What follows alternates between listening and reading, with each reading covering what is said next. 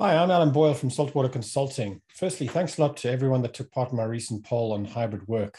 There's definitely some mixed views on the topic, and um, it's going to be interesting to see how people get back to the workplace or not post uh, pandemic. So, thanks for taking part. And um, in the theme of sort of team dynamics and remote work and back to the office, uh, that's going to be the subject or the the theme that we're going to be working on over the next couple of months at Saltwater Consulting. So we're going to be talking a little bit about team dynamics and what better way to kick it off than to talk about silo mentality. It's quite interesting. I mean, I don't think teams intentionally try and form silos, but sometimes they naturally happen. And I think in this remote workplace, there's more chance of these types of silos forming.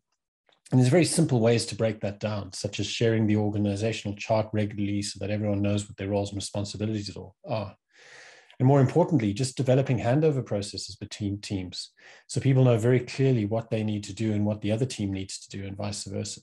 So, those are just a couple of tips. I've got an article that I put out in Decision Ireland a month ago. And what I'll do is I'll post a link to that below in the comments and take a look at it.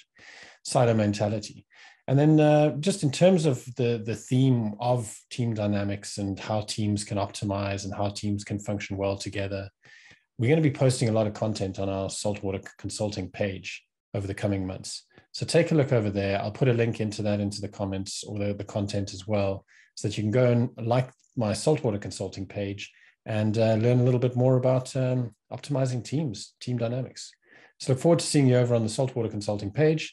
Allan Boyle, Saltwater Consulting.